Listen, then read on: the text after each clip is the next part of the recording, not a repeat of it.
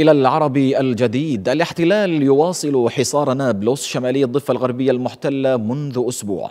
تواصل قوات الاحتلال الإسرائيلي حصارها. مدينة نابلس شمالي الضفة الغربية منذ نحو أسبوع. ضمن سياسة العقاب الجماعي بعد عملية إطلاق النار التي نفذتها مجموعة عرين الأسود. وقتل فيها مجموعة جندي إسرائيلي قرب مستوطنة شافي شمرون المقامة على أراضي شمال غربي نابلس. وأكد الصحفي محمد أبو ثابت لصحيفة العربي الجديد أن قوات الاحتلال أغلقت جميع الحواجز المحيطة بمدينة نابلس وأخرى على مداخل بعض القرى والبلدات. وضعت سواتر ترابية على مداخل بلدة دير شرف شمالي غرب نابلس وشددت إجراءاتها على بعض الحواجز التي لم تغلقها. إذ اشترطت لدخول بلدتي بيت فوريك وبيت دجن حمل بطاقات هوية تشير إلى السكن في تلك البلدتين.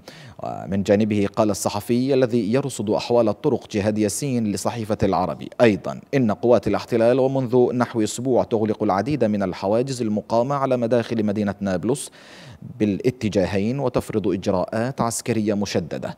وتمنع خروج المواطنين في بعض الحواجز كما تمنع خروج المواطنين من نابلس في حواجز عدة غير مغلقة.